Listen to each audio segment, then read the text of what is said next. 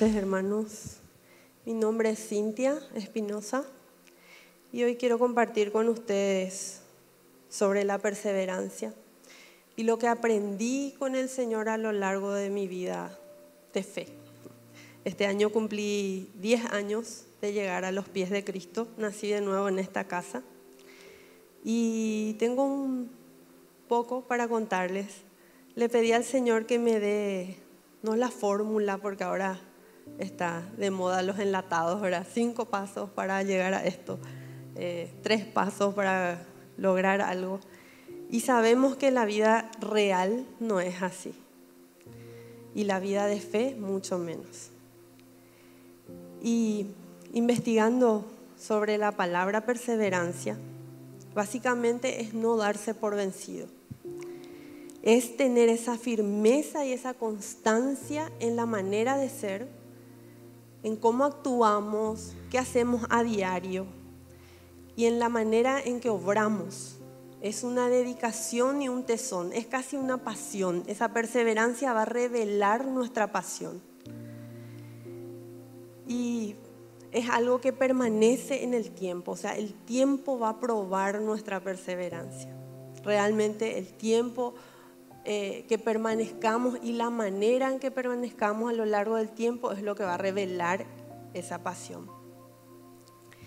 Dice Mateo 7, 13 al 14, ancho es el camino que conduce a la muerte, pero angosto es el camino que lleva a la vida y solo unos pocos alguna vez lo encuentran. Y así es el camino del cristiano. A menudo nos encontramos en encrucijadas donde no sabemos qué hacer y nos invade la duda. Surge un problema, surge algo que va en contra de aquello que estábamos esperando. Viene algo totalmente de contramano, como diríamos, ¿verdad? y somos atravesados por circunstancias donde nuestros cimientos son sacudidos. Todo aquello que creíamos permanente, esto que estaba bien, esto que era seguro. Y somos embestidos por una, una situación, ¿verdad? Entonces, somos tentados a recurrir a un abanico de posibilidades, de recursos, ¿verdad? Muchas supuestas soluciones pero dice la palabra que es ancho el camino que conduce a la perdición. O sea, muchas posibilidades, pero es angosto el camino que conduce a la vida. Entonces, ese camino es el camino del cristiano, perseverar en su fe, luchar por mantenerse firme a pesar de las circunstancias. Tenemos una lucha en nuestro interior, dos caminos, uno es bien trazado y claro, es el camino que nos conduce a la vida. Ese camino de fe donde todos los días somos llamados a tomar nuestra cruz y proseguir hacia aquello que Dios nos mandó. Y el siguiente es el abanico de posibilidades, pero que ya sabemos a dónde nos conduce. Entonces somos invitados en nuestro interior a escuchar esa silenciosa voz que nos dice que confiemos en Él y que a pesar de las circunstancias permanezcamos firmes. O nos dejamos llenar por dudas, incertidumbres, estrés y todo tipo de sentimientos que nos llevan a enfermar el cuerpo. Como bien sabemos, ¿verdad? Ahora en la actualidad la, la depresión es la enfermedad de moda. Nos llenamos de angustia, de incertidumbre, eso enferma nuestra mente y afecta nuestro cuerpo, indefectiblemente pero tenemos la opción de confiar en Dios, de perseverar en ese camino. Y una virtud de esa perseverancia es la paciencia, es aceptar una aceptación tranquila de esas cosas que suceden en un orden que no esperábamos. Es algo que nos atraviesa, un momento, una circunstancia, una situación. Pero a la vez, ese camino de perseverancia a veces la gente dice, estoy esperando en Dios. Y esperar no siempre es algo pasivo, Esperar no es estar tirado en el sofá esperando en Dios. Esperar es activo, es poderoso, porque uno tiene que militar en creer. Uno tiene que mantenerse firme y todos los días anclar su alma y sus emociones a la verdad de Dios. Ese es nuestro llamado como cristianos. Allí es donde tanto que decimos, quiero reflejar a Dios en mi vida, quiero que la gente vea a Cristo a través de mi vida. Bueno, Cristo va a ser visto con nuestra conducta y eso va a afectar a, los que nos rodean. Y ese esfuerzo es por mantenernos firmes, esforzarnos en creer en esperanza contra esperanza. Mateo 11, 28 al 30 dice, vengan a mí los cansados y trabajados, y yo les daré descanso. Tomen mi yugo sobre ustedes y aprendan de mí, que soy manso y humilde de corazón, y hallarán descanso para su alma. Esa es la invitación del Señor, de hacer un despojo de nosotros mismos para tomar aquello de Dios, para hacernos uno con Él, porque el yugo, el pastor había enseñado en varias oportunidades, ¿verdad? El yugo es el que nos hace uno, el buey usaba para andar de dos en dos, entonces se hacía uno con la otra, el otro animal, ¿verdad? En este caso no, somos llamados a ser uno con Dios. Y uno es ponernos de acuerdo con Él. Y ponernos de acuerdo es, es preguntarse, es plantearse, ¿creo esto que Dios dice?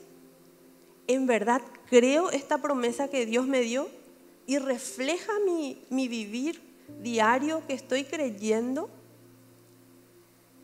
Esa es la invitación del Señor, de hacernos uno con Él y confiar en Él, depositar nuestra confianza, entregarle nuestras cargas y mediante ese yugo hacernos uno con Él. No importa cuál sea la circunstancia, Dios tiene ese poder de darnos la capacidad para soportar la prueba y salir aún victoriosos de ella, pero sabiendo que esa prueba no es para perdición. Esa prueba viene a revelar la necesidad más profunda de nuestro corazón. No sabíamos que necesitábamos tal cosa hasta que esa necesidad se presentó. Yo tengo cinco años de matrimonio, este año cumplimos cinco años. Y fue un esposo por el que oré, pedí confirmación, como toda cristiana, ¿verdad? Y igual tuvimos fuertes momentos en estos cinco años. Yo le dije a mi marido este año, si pasamos los cinco, pasamos cualquier número, digo yo, porque los primeros cinco dicen que es muy duro, ¿verdad? Y en algún momento dije, ¿será que elegí bien? ¿Será que era el Señor el que me habló? ¿Será que me llené de dudas? Y decidí creerle al Señor en aquel entonces. Y eso sostuvo mi corazón. Y cuando llegaron las dudas, las emociones, también se despertaron. Pero Dios ordenó las cosas cuando yo decidí confiar en Él. Decidí soltar mis fuerzas, mi manera conocida de hacer las cosas. Eh, hablo en este contexto de matrimonio, ¿verdad? Porque sé que muchos pasan por eso. Y creemos que las mujeres creemos que la queja puede cambiar a nuestros esposos o, el regañarles. Y a veces tomamos una posición que no nos compete. No, no, fuimos llamados a ser madre de nuestros esposos, tampoco a ser sus maestras, ¿verdad? Somos ayuda idónea. Entonces, tomar esa quietud y decir, Señor, en vos confío. Si esta casa fue cimentada bajo tu cobertura y fundada, vos vas a sostener. Yo confío en vos. Y en el momento en que empecé a depositar mi confianza en Él, Dios obró de una manera maravillosa. Yo no iba a estar aquí si, si no fuera por eso, ¿verdad? No, iba a tener una autoridad moral para hablar. Pero Dios es poderoso para hacer las cosas mucho más abundantemente de lo que creemos y lo que imaginamos, según el poder que actúa en nosotros, como dice la palabra. Pero tenemos que ponernos de acuerdo con Él, no con lo que sentimos, porque nos engañan, nuestras emociones nos engañan, nos hacen fracasar, no con lo que escuchamos, porque también somos engañados. A veces en el momento de mayor vulnerabilidad recibimos el peor de los consejos. La palabra de Dios es nuestro norte. Decidimos creer en Él aunque aún no vemos las señales, porque Él va a hacer algo nuevo. Esta palabra anclé en mi corazón. Dice, otra vez abrirá camino en el desierto y hará brotar ríos en tierra seca. Anclamos nuestro corazón a su verdad que es suprema y ordenamos a nuestra alma a ser sujetada a la voz del Espíritu de Dios. Siempre que hablo, tengo un grupo areño de chicas digo, es fácil solucionar, para Dios es fácil solucionar nuestros problemas. Él puede hacer un chasquido y decir que se haga lo que estás pidiendo. Pero es en ese lapso en donde Él toca todos los ajustes que necesitamos nosotros en nuestro interior, en nuestro corazón, mientras esperamos eso que queremos. Esa es la perseverancia caminar con una misma actitud mientras llega la promesa, mientras llega eso por lo cual oramos tanto. Pero Él no está interesado en una salvación temporal. Puede hacerlo así y darnos y complacernos. Él está más interesado en ese desarrollo en nuestro interior, en eso eternal que Él va a forjar ahí, en mis deseos calibrados a los de Él, equilibrados con su Espíritu Santo, porque Él nos habla y Él pone la verdad en nuestro corazón y su palabra nos guía. Muchas pruebas de las que pasamos, en realidad, como dije, viene a revelar una sincera y profunda necesidad de nuestro corazón. En mi caso, era aprender a confiar en Dios. Siempre me costó mucho confiar en las personas, pero tenía que esta vez confiar en aquel que no veo, pero que me promete que va a cambiar mi circunstancia. Y anclo mi corazón a su verdad y revela mi necesidad. En realidad, ¿confías en mí? ¿En realidad crees que soy capaz de cambiar tu contexto? Esa es la pregunta en mi corazón. Revela mi necesidad. Desnuda mi estado real y mi interior, pero es allí donde Él quiere obrar. Y la fe nos hace ver de tal manera que no importa lo que está pasando a mi alrededor, mi ancla está en quién es Él y que Él lo hará. Y solamente de esta manera podemos entender lo que dice Santiago 1.2. Amados hermanos, cuando tengan que enfrentar problemas, considérenlo como un tiempo para alegrarse mucho, porque ustedes saben que siempre que se pone a prueba la fe, la constancia o perseverancia tiene una oportunidad para desarrollarse. Así que dejen que su fe crezca, pues una vez que su constancia se haya desarrollado plenamente, serán perfectos y completos y nada les faltará. Entonces, ¿cómo voy a saber? ¿Cómo voy a, tener la certeza conociendo quién es Dios? Dios no me manda una prueba para perdición. Él va a pulir algo en mi interior y va a hacer eso que estoy esperando. Y mientras yo tengo que militar y mantenerme firme, yo decido creerle al Señor. Yo decido creer que sus planes para mí son de bien y no de mal. Anclo mi corazón a esa verdad. Entonces, como, se dice, no diremos, ¿y ahora qué me va a pasar? ¿por qué a mí? Las famosas preguntas cuando llegan las pruebas, ¿por qué yo? ¿Por qué a mí?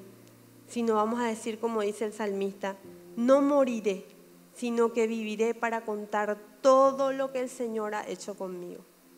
Vamos a tener esa certeza de que esto no es para perdición, este es un tiempo de prueba, yo saldré purificada de esta.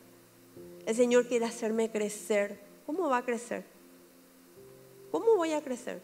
El Señor no, no, no hace bonsai espiritual, ¿verdad? Él nos hace crecer y el crecimiento duele. Naturalmente el niño cuando crece le duelen los huesos, las piernas. Así también el cristiano. Una de las claves para perseverar es la entrega. Es una entrega verdadera. Mi yugo es fácil y ligera mi carga. Cuando yo entrego de corazón esa situación y digo, en tus manos está Dios, yo confío en vos y la actitud con la que yo entrego de verdad revela mi confianza en Dios. Allí es donde Dios va a obrar, porque Dios honra nuestra fe. Y aquel que ha puesto su confianza en Dios jamás es avergonzado. Él está haciendo algo nuevo y si lo hizo una vez, lo volverá a hacer. Tenemos que recordar siempre eso. Una fe que persevera es una fe que está puesta en nuestro Maestro, en Jesús, en nuestro ejemplo, el primero de muchos, nuestro modelo a seguir. Y no importa cuántas veces fallamos, Dios se deleita en la valentía de nuestros intentos. Dice Hebreos 12. Por lo tanto, ya que estamos rodeados de una enorme multitud de testigos de la, de la vida de fe, quitémonos de todo peso que impida correr, especialmente el pecado que tan fácilmente nos hace tropezar. Y corramos con perseverancia la carrera que Dios nos ha puesto por delante. Esto lo hacemos al fijar la mirada en Jesús el campeón que inicia y perfecciona nuestra fe. Debido al gozo que él esperaba, Jesús soportó la cruz sin importarle la vergüenza que ésta representaba. Ahora está en el lugar de honor junto al trono de Dios. Piensen en toda la hostilidad que soportó por parte de los pecadores. Así no se cansarán ni se darán por vencido. Jesús es nuestro modelo de perseverancia. Él soportó aún sabiendo todo lo que se venía. Él soportó mirando la gloria futura y anclando su alma, sus emociones, su mente, sus pensamientos a que esa promesa va a cumplirse. Tiene fecha de cumplimiento. Y mirando todo lo que estaba por delante, Él pudo soportar. Él es nuestro modelo. Otra clave para la perseverancia es rodearse de buenas amistades. Es importante saber con quiénes hablamos, a quiénes escuchamos, a quienes abrimos nuestro corazón. No guiarnos por, por gente que no tiene nuestros principios ni valores para, para aconsejarnos, que hablan otro lenguaje. Y, y abrimos puertas para otras personas que pueden sembrar más dudas que ayuda en nuestra vida. Deleitarse en el Señor es otra clave. Él nos concederá las peticiones de nuestro corazón. Y deleitarse propiamente no es un momento, es un estado, es una búsqueda constante, implica voluntad, no es un acto de las cosas van a caer del cielo, ¿verdad? Implica voluntad, búsqueda. Yo me deleito en Él. Es, me hago a un lado y hago de Él mi prioridad hago a un lado mis emociones, mi propia necesidad y me centro en quién es Él. Entonces la prueba no es una sentencia, pero su producto va a revelar mi pasión. Renovar mi mente también es una manera de mantenerme perseverando en la fe. Necesitamos cambiar nuestros pensamientos. Necesitamos cambiar nuestra manera de pensar para que nos ayude a perseverar. Renunciar a nuestro viejo patrón de vivir, nuestra manera de vivir. Como yo suelo decirle a las chicas, no hacer las cosas porque así se hicieron siempre, porque quizá vengo de un patrón de error, de un linaje de malos pensamientos. Y es necesario que yo renuncie a esas cosas para que el reino de Dios se, se haga raíz en mi vida y dé frutos.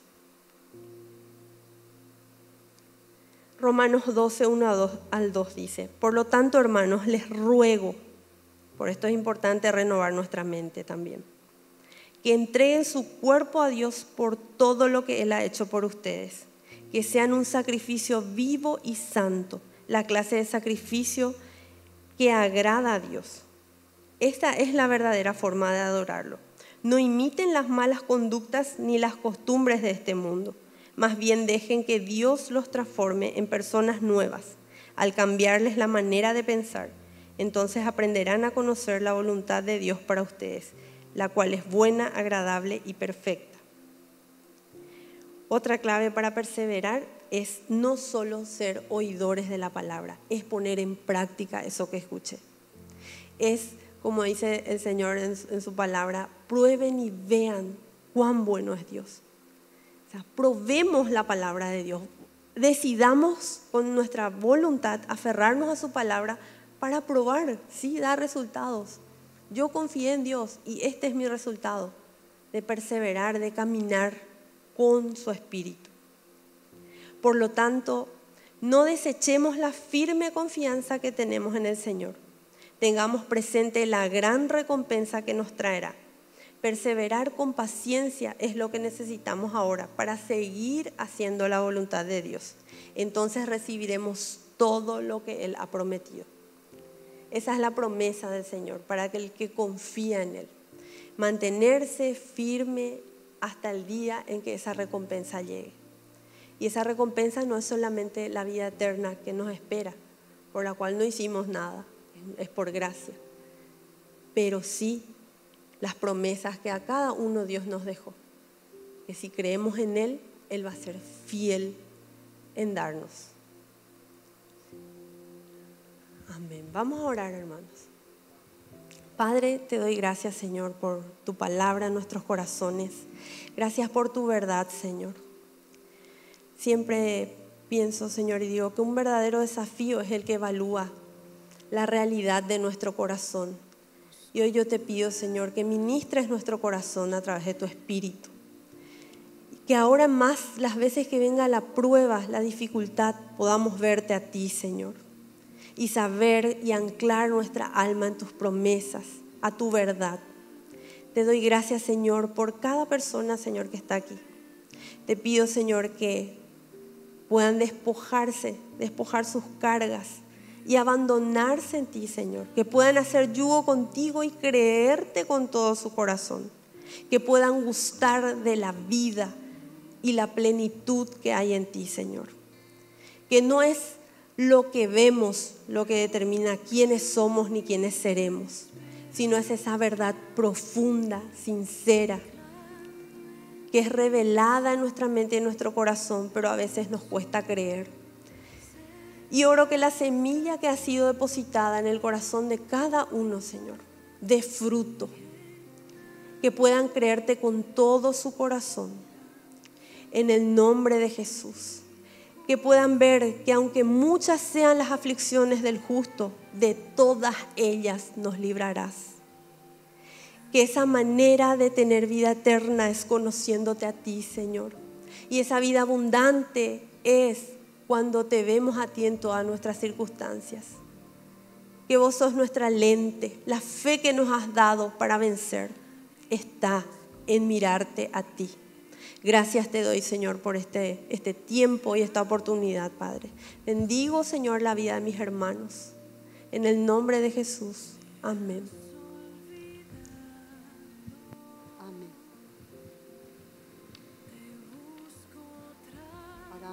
Vamos, a continuar con la segunda persona que va a dar la charla.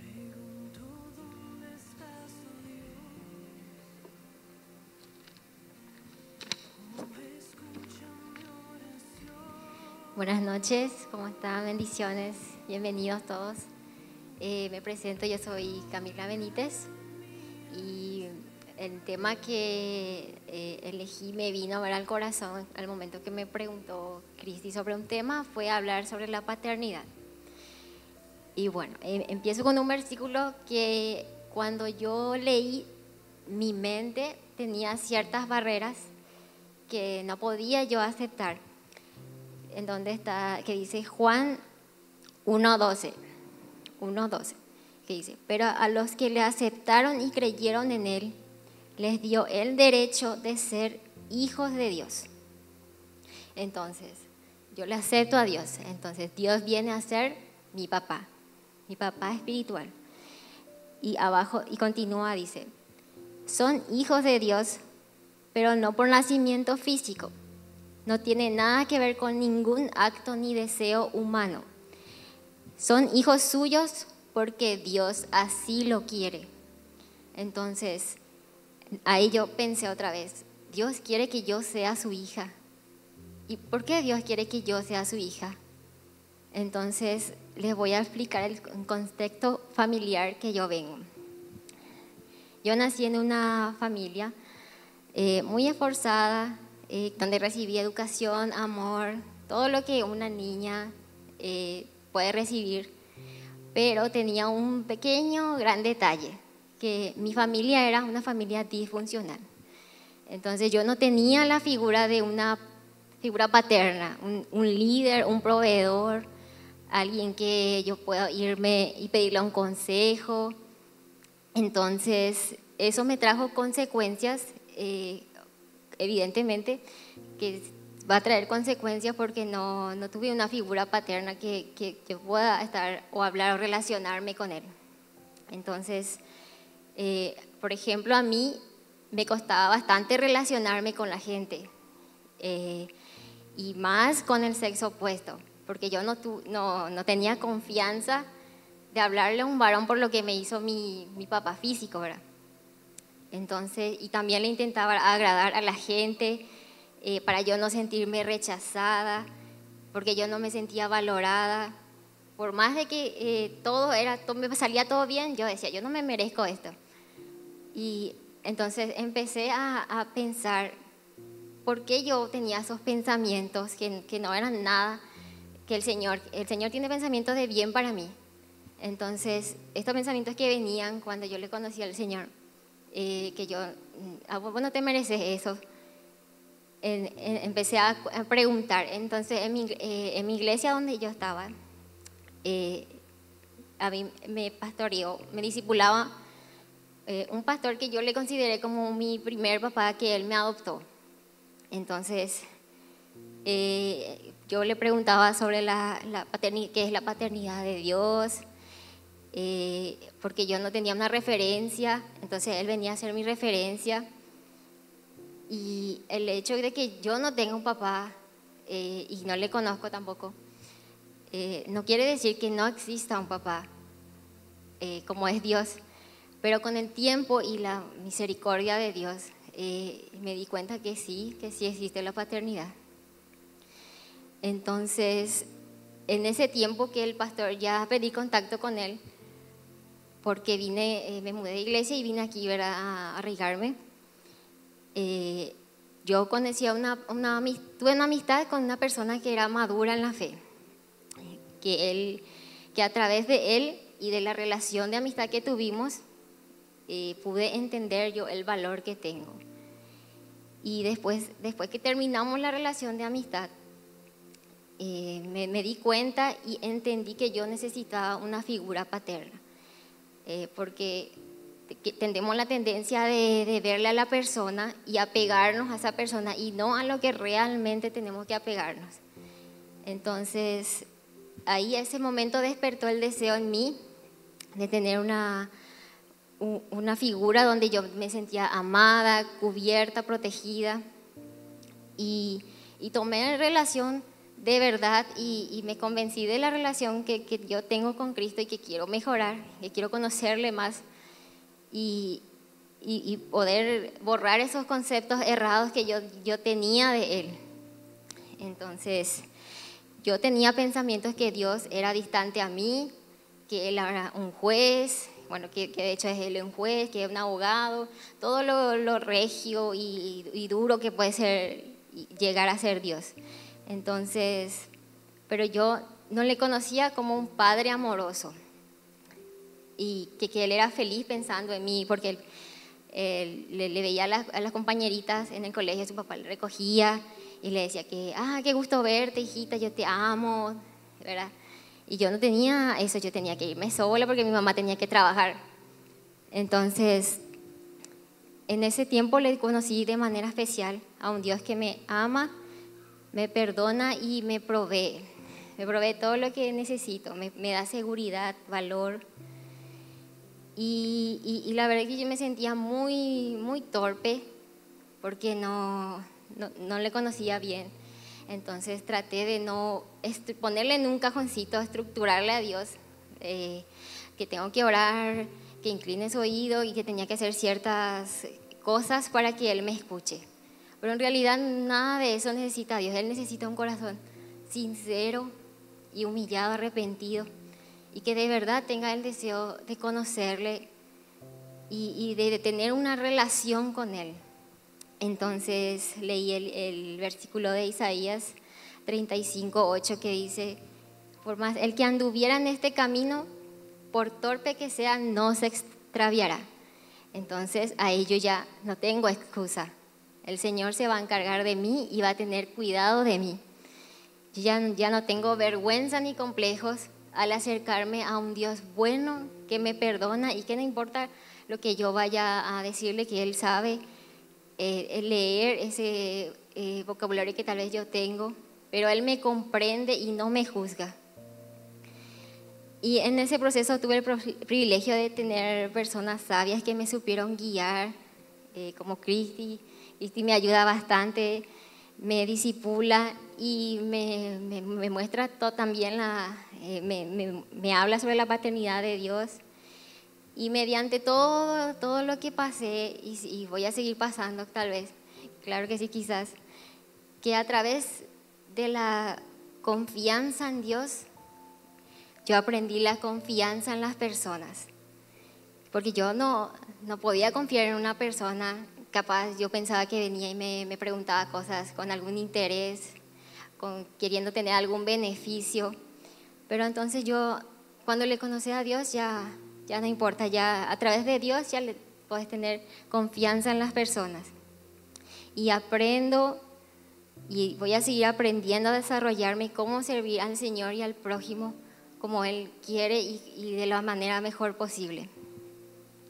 Y también, así como el Señor se me reveló a mí, eh, yo deseo de manera personal que ustedes también experimenten y si, y ya experimentaron y tienen una relación, que sigan avanzando y creciendo más y, y que puedan, puedan sentir la adopción espiritual, que es una de las verdades más liberadoras de la palabra de Dios que puede transformar radicalmente la vida de cualquier persona que ha experimentado el rechazo y el abandono. Y yo para terminar mi, testimonio, quiero finalizar con este versículo eh, que está en Efesios 1 del 5 al 9, que, que me impactó también y les quiero compartir. Dice, Dios decidió adoptarnos como hijos suyos a través de Jesucristo. Eso era lo que Él tenía planeado y le dio gusto hacerlo. Dios nos eligió para que así se le honre por su grandioso amor, que nos dio gratuitamente por medio de su Hijo amado. La sangre que Cristo derramó en su muerte pagó el rescate para librarnos de la esclavitud. Es decir, que Dios es tan generoso que perdona nuestras faltas y nos mostró abundantemente su bondad. Con completa sabiduría y entendimiento nos ha dado a conocer su plan secreto. Esto fue lo que con gusto Dios quiso hacer por medio de Cristo. Bueno, eh, quiero cerrar haciendo una oración. Bueno, Bendito Dios, hoy te quiero dar gracias porque me diste el privilegio, Señor, de testificar, Señor, de tu paternidad, Señor. Esa experiencia, Señor, tan gloriosa y buena, Señor, que tienes con cada uno de nosotros, Señor. Y que a veces, Señor, parece tan poco, pero tú, Señor, siempre estás dispuesto a escucharnos y a esperarnos con tus brazos abiertos, Señor. Señor, te pido, Señor, que que, pueda la gente conocerte a ti como un buen Padre, Señor. Que, pueda restaurar la imagen distorsionada que tenemos de ti, Señor. O las personas que sufrieron algún tipo, Señor, de, abuso, Señor, emocional, eh, verbal o física, Señor. Que sanes en el nombre de Jesús, Señor, esas, esas cosas que pasaron en circunstancias de la vida, Señor. Te pido, Señor, que, que con tu amor, Señor, y, y todos aquellos que no entienden que la formación de la disciplina de Dios es amor, Señor. Que necesitamos verte como un Dios generoso que oye nuestra oración, Señor. Y gracias por tener planes para nosotros, para un futuro y una esperanza. Gracias por el Espíritu Santo, Señor, y el Espíritu de adopción que recibimos al recibirte a ti, Padre Santo. Gracias porque como hijos somos herederos también contigo, Señor, y ayúdanos a acercarnos a ti delante del trono de la gracia con confianza. Porque tú, Señor, no echas a nadie afuera, al que a ti viene tú no echas afuera, Señor. Y ayúdanos a restaurar, Señor, esa imagen y a seguir creciendo, Señor, en conocimiento y en sabiduría, Señor, y poder seguir contigo tomado de la mano, sabiendo que bajo tus alas, Señor, estamos bien guardados y protegidos a pesar de cualquier circunstancia que pueda pasar. Te bendigo, Señor, y gracias por este privilegio. En el nombre de Jesús. Amén.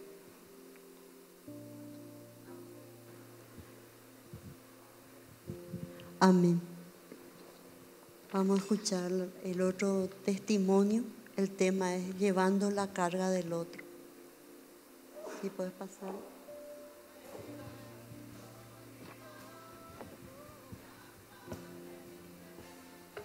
Hola, mi nombre es Eunice. Estoy hace más de. hace muchísimo en la iglesia. 15 años por ella. Desde criatura estoy acá.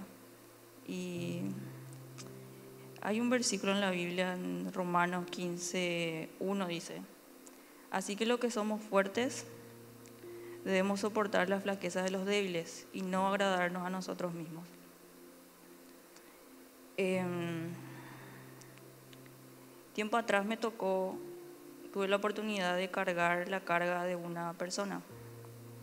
¿Qué significa cargar la carga de una persona? Una persona débil en la fe o que recién está empezando em, tiene, eh, ponerle falta fe. Y vos te vas y le acompañas a esa persona, yo voy a orar por vos. Eh, le preguntas, le escribías al WhatsApp cómo estás, eh, cómo te sentís, le acompañas en ese proceso donde esa persona está dando, dando sus primeros pasos. Entonces, eh, con el tiempo, esa situación a mí me agotó mucho emocionalmente, tanto que ya yo no quería más ayudarle a esa persona pero algo adentro mío me decía que tenía que apoyarle y ese era el Espíritu Santo. Entonces me puse a orar y hablé con algunas personas sabias. Tomé la decisión de seguir adelante y orar y acompañarle hasta donde se podía. A medida que pasaba el tiempo, iba entendiendo algunas cosas que al principio no consideré. Primero, Dios quiere que confiemos en Él. La confianza es fe. Nosotros cuando confiamos en una persona es porque con el tiempo no demostró que es una persona fiable. Así es parecido con Dios. La fe es progresiva, crece progresivamente. al pasar tiempo de vida con ella, con, con Dios, nuestra fe va creciendo progresivamente. Empieza chiquitito y va creciendo. Por eso era importante que yo le acompañe a esa persona, porque yo ya había caminado esos pasos que esa persona estaba caminando. Y le podía decir, vos sabes que esto, esto y aquello, le podía aconsejar, porque yo ya había pasado ya ese, esa, esa dificultad que esa persona había pasado. Y hay, en el, hay un salmo, el Salmo 37, de 5 al 7 dice, y yo le pasaba los versículos. Y así como en su momento esos versículos me alentó a mí, esa persona me decía, sí, yo creo esto, y, y le alentaba también. Dice, encomienda al Señor tu camino, confía en Él, y Él actuará. Hará que tu justicia resplandezca como el alba, tu justa causa como el sol del mediodía. Entendí que el Señor me iba a sostener para poder sostenerla a esa persona, porque justo era en la pandemia y, y como todo, como todo nos no, no costó, yo oraba y, y con el tiempo entendí que Él me iba a sostener para poder sostenerla a esa persona y que yo necesitaba para servirle como el Señor nos sirvió a nosotros, yo necesitaba amor. Y el amor no es algo que, que vos le ves acá a los líderes de la iglesia y vos decís, ay, qué, qué persona más amorosa. Y sí, son personas amorosas, pero ellos le pidieron a Dios amor. No es que apareció de la nada. Y eso me, en, ese, en este tiempo y en el, tiempo que me, me tomó ayudarle a esa persona, yo le pedí al Señor amor, más amor para ayudarle a esa persona y para servirle con excelencia, para, para que lo que yo haga sea productivo, sea de bendición, no sea algo que sea una pérdida. Entonces le pedí a Dios y a medida que le servía a esa persona, Él me fue dando el amor que, yo que esa persona necesitaba. La Biblia dice que los más fuertes deben sostener a los más débiles. A veces Dios nos deja sin fuerzas para que Él se haga fuerte en nosotros y también para que seamos más humildes. Con el tiempo me di cuenta que me enorgullecía de mi fuerza y que eso en el reino de Dios se traduce como algo inútil, que es un estorbo. No es que si sos orgulloso Dios no te ama o te ama menos, es que con esa actitud actuamos independientes de Dios y bueno, así no se puede servir. Con el tiempo la situación se estabilizó y muchas actitudes que estaban en mi corazón y en el de esa persona salieron a flote. Ella está mejor, pero el proceso no se acabó todavía. Todavía hay que avanzar más. Pero estamos ambas felices porque Dios hace algo nuevo dentro de nosotros. Y lo que yo quiero pedirle a Dios es que Él nos dé ese amor para poder servir a otras personas, porque eso es lo que nos va a sostener, para poder sostener a otras personas. Amén. Bueno, Señor, te damos gracias por, por tu amor, Señor. Así como, Señor, tú cargaste nuestras cargas, Señor. Te pedimos que nos ayudes a cargar las cargas de otros, Señor. A sostener a los débiles, Señor. A acompañarles, Señor. Y te pedimos que nos ayudes a ser guiados por tu Espíritu Santo, Señor, y no actuar impulsivamente, Señor. Espíritu Santo, guíanos, Señor. Ayúdanos a leer la Biblia, Señor. Ayúdanos a perseverar en el camino, Señor, con un corazón sincero, Señor, con una actitud honrada, Señor. Ayúdanos a levantar nuestras cabezas, Señor, y a sostener a los que están más débiles, Señor. Fortalécenos a nosotros, Señor. Fortalece nuestras manos, nuestras piernas, Señor, para seguir caminando este camino, Señor. Ayúdanos a ser perseverantes, Señor, y a fijar nuestra mirada, Señor, en las cosas del cielo, Señor, y no acá en la tierra. Ayuda a nuestra fe, Señor. Ayúdanos a entender que sin ti nada podemos hacer, Señor. Y que en ti está todo lo que nosotros necesitamos, Señor. En ti está nuestra fuerza, Señor. En ti está nuestra esperanza, Señor. Fortalécenos, Señor, en amor. En el nombre de Jesús. Amén. Amén. Gracias Señor por este tiempo, lo que todo el equipo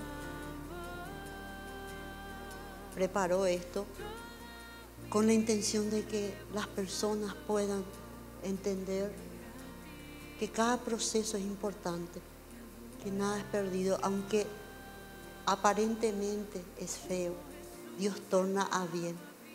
Como le pasó a Euni que tuvo que lidiar con algo que yo le pedí al equipo que no expongan los nombres de las personas ni tanto su vida privada, porque no es la idea esa, sino que hablen de lo que Dios a través de esa circunstancia forjó en ellos. Cómo le hizo entender a ella que necesitaba el amor para seguir soportando, ayudar a esa persona. Cómo, cómo el Señor se reveló en el corazón de Camila siendo un papá que le, que le dificultaba de relacionarse con otras personas, más con el sexo opuesto. Pero a través de esa paternidad como él, ella cambió. Y su actitud ante la vida, ante las circunstancias es diferente. Como ella misma estuvo testificando. Como a través del testimonio de Cintia, el Señor desarrolló, le hizo entender cómo es la paciencia, porque generalmente somos impacientes, queremos todo listo ya. Y es en el tiempo del Señor, no en nuestros tiempos. Por eso le denominamos a estas charlas desarrollo espiritual, que son testimonios en realidad. Y como algunos vienen por primera vez, ya le expliqué a los que llegaron antes, que cuando ven el anuncio tiempo oración, uno hace en el desierto. Es un tiempo donde nosotros oramos y ministramos a las personas por sus necesidades específicas. El segundo jueves, de cada mes estamos unidas en la, en la vigilia nacional que oramos por Paraguay. Nos corresponde como más que vencedores central esos jueves a ese horario. Y hay otras iglesias, pero continuamente se está orando por el país. Desde enero arrancamos eso.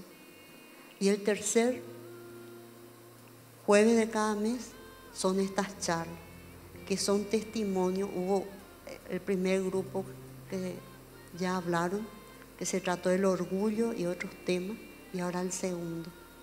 Y le pedimos al Señor que realmente impacte el corazón de, de ustedes, que pueda abrir el entendimiento del Señor, porque la idea es que nos edifiquemos con esto. En el nombre de Jesús.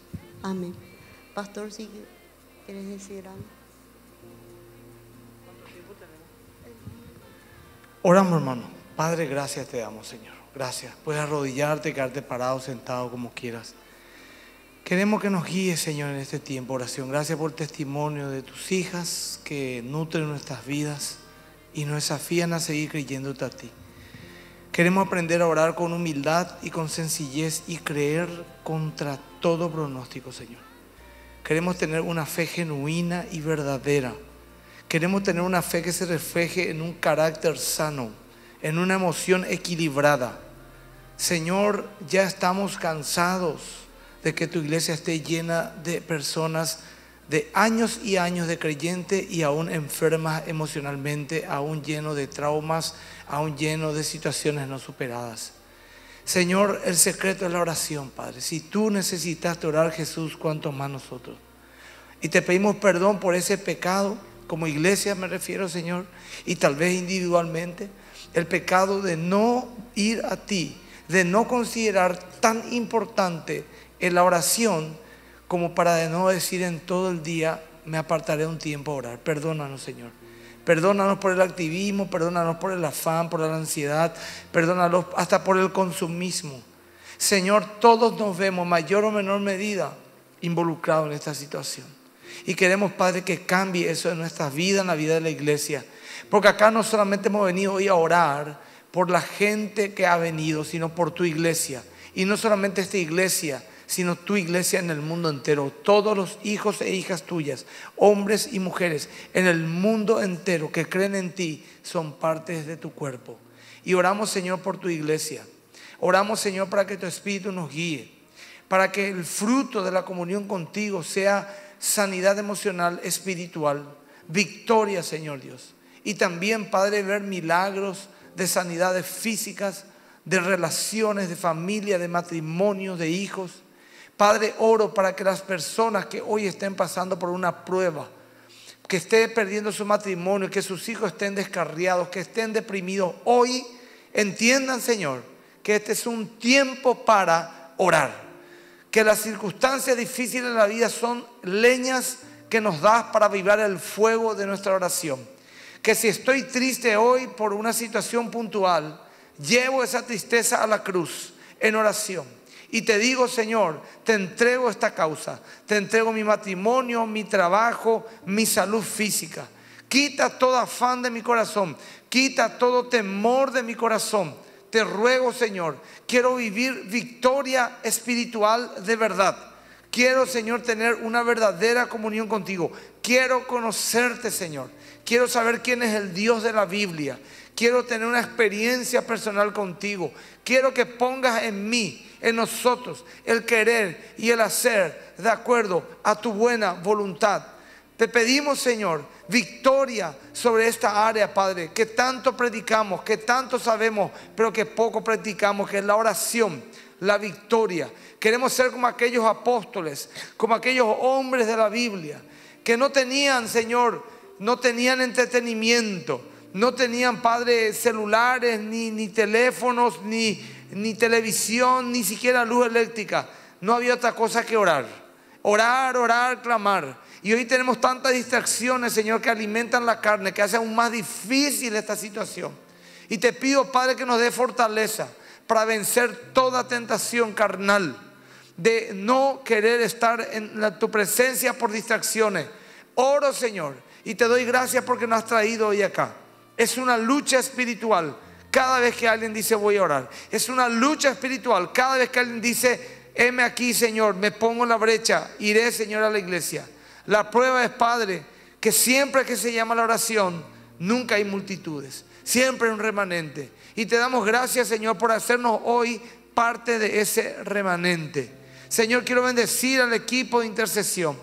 Aunque eso es algo, Señor, bíblico, la verdad es que toda la iglesia debe ser intercesora. Toda la iglesia debe orar unos por otros. Mi casa será llamada casa oración para las naciones. Hemos venido a derramar nuestra alma delante de ti. Hemos venido a poner delante de ti nuestros afanes.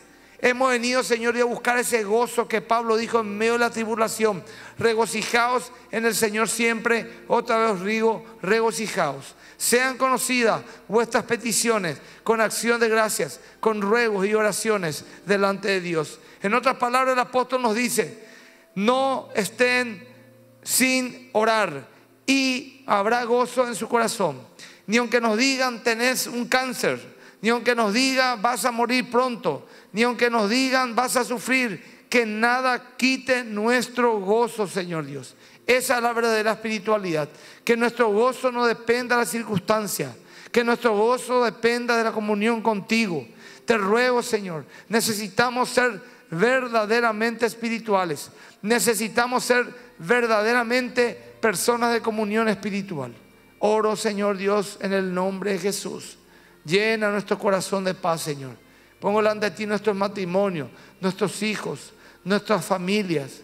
Pongo delante de ti, Señor, nuestra vida personal. Perdona todo pecado que contrita tu presencia en nuestras vidas. El pecado, Señor, del orgullo, de la vanidad, de la vanagloria, pecados morales, todo lo que está delante de nuestros ojos, Señor Dios, hoy en día tiene el condimento de la pecaminosidad. Más que nunca, Señor Dios, el mundo ofrece todo tipo de pecado y de distracción. Oro en el nombre de Jesús, Señor Dios. Guárdanos, Guárdanos, guárdanos, Señor, guárdanos, guárdanos, bendícenos, que haya paz en nuestro corazón, Señor. La paz de Dios que sobrepasa todo entendimiento, guarde nuestros pensamientos en Cristo Jesús. En el nombre de Jesús, Señor Dios. En el nombre de Jesús, ayúdanos a orar a unos por otros, interceder unos por otros, buscar tu presencia, Señor Dios. Oramos por la iglesia, la iglesia perseguida. Oramos por la iglesia de los que sufren. Oramos por aquellos que están predicando en las calles, en lugares difíciles. Oramos por aquellos que su vida corre peligro a causa de Cristo. Oramos por aquellos que en este mismo instante, en algún lugar del mundo, están siendo perseguidos y torturados, Señor Dios, por buscar tu rostro, por predicar tu palabra. Señor, oramos para que no se sientan solos. Oramos para que el Espíritu Santo ahora, Señor Dios, le envíe el consuelo. Enséñanos y ayúdanos a orar por la iglesia perseguida, por aquellos que están hace años y años sin esperanza en alguna cárcel años y años separados de su familia. Hoy, Señor, en este mismo instante, hay un hijo tuyo, hay una hija tuya viviendo esa situación. 65 países del mundo persiguen a los predicadores, persiguen a los cristianos en mayor o menor medida, desde cárceles, exilios y otros, Señor, tortura y muerte. Padre, en el nombre de Jesús, oramos por la iglesia perseguida. No somos egoístas orando solamente por nuestras necesidades.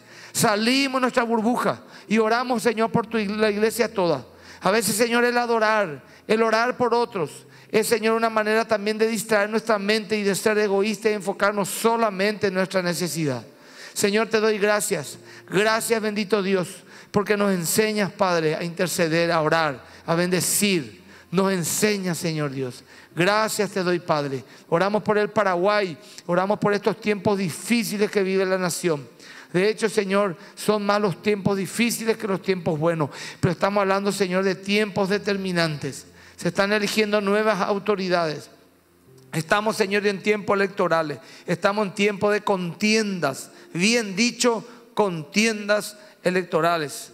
Donde la gente, los políticos que buscan votos, están, Señor Dios, muchos de ellos hablando, manipulando, mintiendo y algunos pocos tal vez diciendo verdades, pero todo buscando interés propio. Tu palabra dice que los gobernantes de este mundo no, buscan su beneficio, Señor Dios.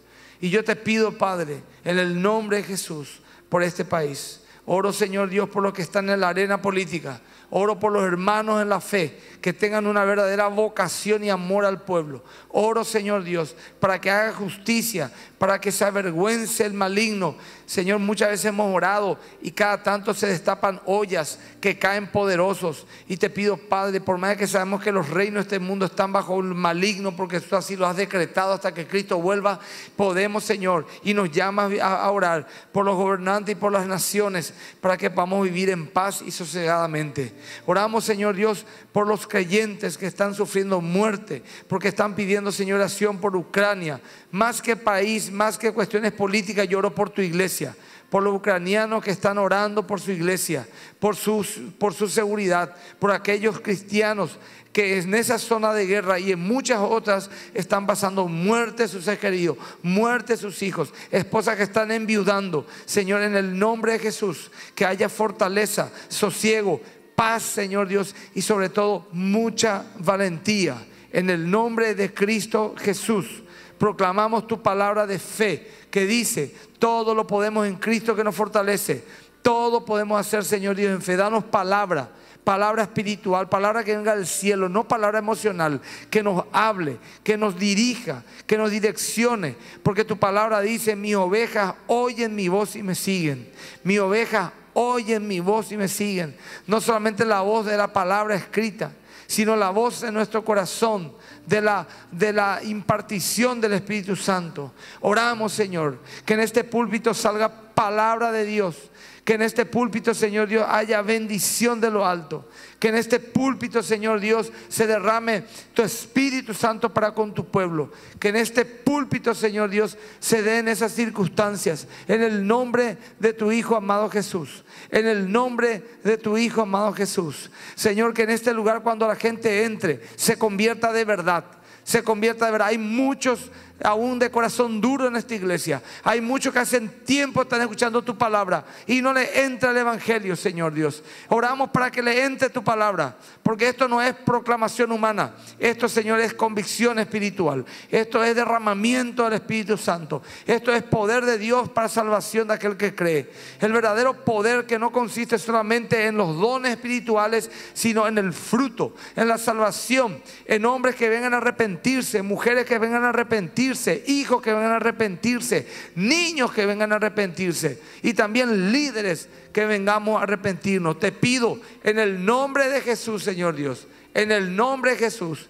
Me atrevería incluso a decirte que, que no, no, ni siquiera sea, Señor Dios, líbranos pronto de la prueba que pasamos, sino que danos valentía, danos humildad, danos fe para aprender de todo lo que estamos pasando. Y así, Señor Dios, cuando acabe todo, permanecer firme, como dice tu palabra. Eso es, Señor, lo que queremos.